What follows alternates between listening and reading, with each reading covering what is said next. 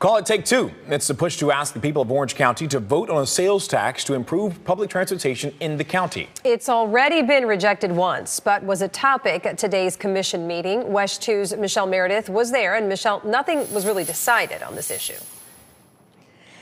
No, the mayor said he was mainly trying to get a handle on how the commissioners feel, and they said they need more time because, as mentioned, they have been here before. Two years ago, Orange County put the question to a vote.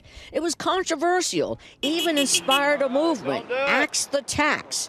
The referendum failed. The people said no.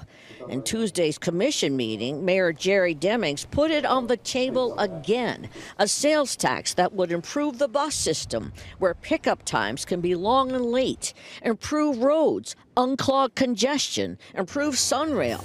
The big challenge make it clear to voters exactly what's in it for them. The mayor, they said no in 2022. What makes you think they'll say yes on this round?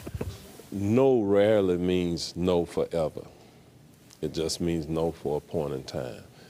Uh, and so I'm optimistic that we can get it to yes in 2024.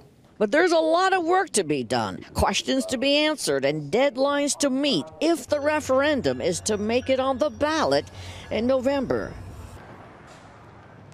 And are they looking for a penny sales tax, a half penny sales tax?